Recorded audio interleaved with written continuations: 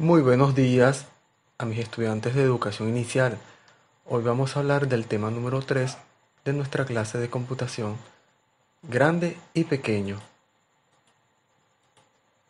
Hay formas muy parecidas, pero a la vez tienen diversos tamaños. Tenemos un mouse grande y un mouse pequeño.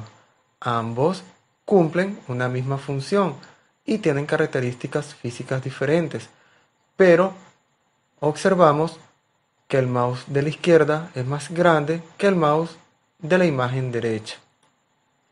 En otro ejemplo, podemos ver que algunas formas pueden ser pequeñas, tenemos una tableta, y grandes del tamaño de una computadora de escritorio.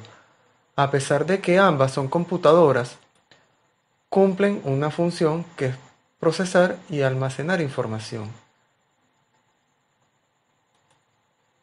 Ahora te voy a mostrar lo que vas a hacer de actividad con la ayuda de papá y mamá.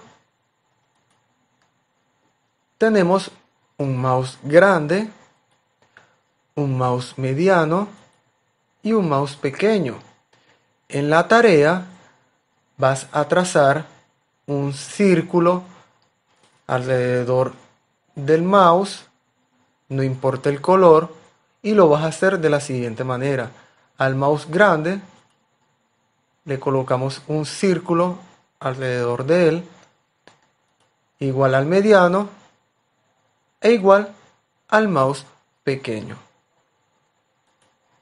Espero que te haya gustado y nos vemos pronto.